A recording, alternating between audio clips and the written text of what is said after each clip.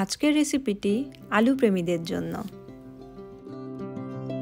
Hello viewers welcome back to my channel আমি জয়তী মুখার্জি, আজকে আরেকটি সিম্পল কিন্তু মজাদার রেসিপি নিয়ে চলে আসলাম আপনাদের সামনে। আপনারা নিশ্চয়ই জানেন, আলু কার্বোহাইড্রেটের একটি ভালো উৎস। এজন্য ডায়েট করতে গেলে অনেকে ভয়ে থাকেন যে আলু খাওয়া যাবে কি না যারা ওয়েট কমাতে চান, তাদের ক্ষেত্রে আলু খেতে না বলা হয়। ইভেন আমিও ডায়েটে আলু অ্যাভয়েড করতে বলি। কিন্তু আপনি যদি ভাত বা রুটির পরিবর্তে খেতে চান, তাহলে কিন্তু ইজিলি আলু খেতে পারেন। আর আমি এখানে যেভাবে প্রিপেয়ার করছি আলুটা, এভাবে প্রিপেয়ার করলে আপনি যে কোনো একবেলা, দুপুরে হোক বা রাতে হোক, ভাতের পরিবর্তে কিন্তু সহজেই এভাবে বেকড পটেটো বা জ্যাকেট পটেটো বানিয়ে খেতে পারেন। এখানে বেকড পটেটো বা জ্যাকেট পটেটো বানানোর জন্য আমি মোটামুটি দেড়শো গ্রাম ওজনের দুটো আলু প্রথমে খুব ভালো করে ধুয়ে নিয়েছি।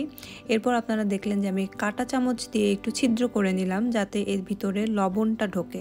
কাটা চামচ দিয়ে ছিদ্র করার পরে এটাকে আমি পানিতে, লবণ পানিতে কিছুক্ষণ ডুবিয়ে নিয়েছি।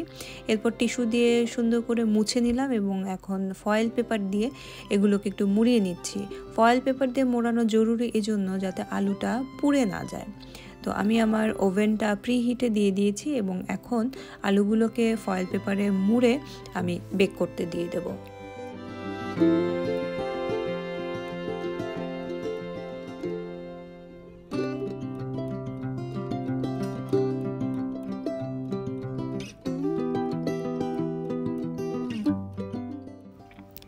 মোটামুটি দুশো ডিগ্রি সেন্টিগ্রেড তাপমাত্রায় আমি আলুগুলোকে ফিফটি মিনিটস মতো, পঞ্চাশ মিনিট মতো বেক করব।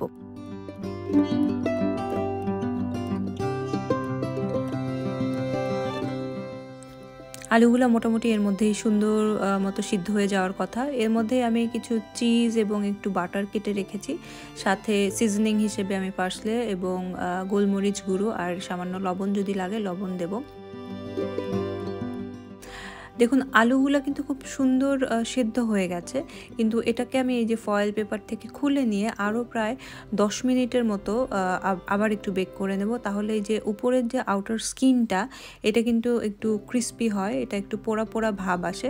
আমি কিন্তু পুরো পঞ্চাশ মিনিট ফয়েল পেপারে করে বেক করেছি যাতে পুড়ে না যায়। কিন্তু লাস্টের দশ মিনিট আমি এটাকে ফয়েল পেপার ছাড়া আরেকবার একটু বেক করে নেব, যাতে উপরের দিকে একটা সুন্দর একটা কালার আসে। তার আগে একটু লবণ দিয়ে সিজনিং করে নিচ্ছি। আজকে আমি একদমই বেসিক যে বেকড পটেটো বা জ্যাকেট পটেটো ওটা দেখাচ্ছি, এটা কিন্তু বিভিন্ন রকম টপিং আপনারা ইউজ করতে পারেন। যেমন টুনা ফিশ দিয়ে টপিং বানাতে পারেন, এছাড়া চিকেন কারি হতে পারে বিনস হতে পারে ইভেন ভেজিটেবল চপ করেও আপনারা দিতে পারেন। যারা ডায়েট করছেন, তারা চিজ অ্যাভয়েড করে ক্রিম চিজ বা ইভেন টক দইও কিন্তু ব্যবহার করতে পারেন। তো আমি শুধুমাত্র বেসটা বা বেসিক জ্যাকেট পটেটো দেখিয়েছি আমার এই রেসিপিতে এর উপরে টপিং আপনারা, আপনাদের পছন্দ মতো ব্যবহার করতে পারবেন।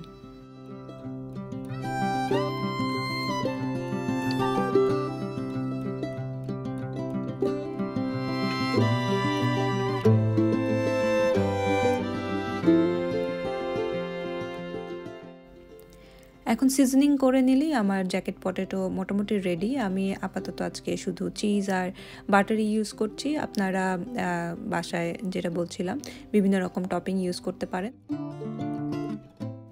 সুতরাং যারা আলু পছন্দ করেন, তারা কিন্তু ভাত বা রুটির পরিবর্তে এইভাবে আলুটাকে প্রিপেয়ার করে ইজিলি একটা মিল হিসেবে খেয়ে নিতে পারেন। ফ্রেঞ্চ ফ্রাই বা ম্যাশ পটেটোর চেয়ে বেক পটেটো কিন্তু অনেক হেলদি ফ্রেঞ্চ ফ্রাই যেমন ডিপ ফ্রাইড থাকে ম্যাশ পটেটোতে প্রচুর পরিমাণে বাটার ইউজ করা হয়, সেই তুলনায় বেক পটেটো কিন্তু অনেক হেলদি কারণ এটাতে কোনো তেল ইউজ হচ্ছে না। সুতরাং আজকের মতো এখানেই বিদায় নিচ্ছি। আশা করছি সবার আজকের রেসিপিটি খুব ভালো লেগেছে। সবাই ভালো থাকবেন, সবার জন্য অনেক অনেক শুভকামনা দিয়ে শেষ করছি আজকের ভিডিওটি ধন্যবাদ।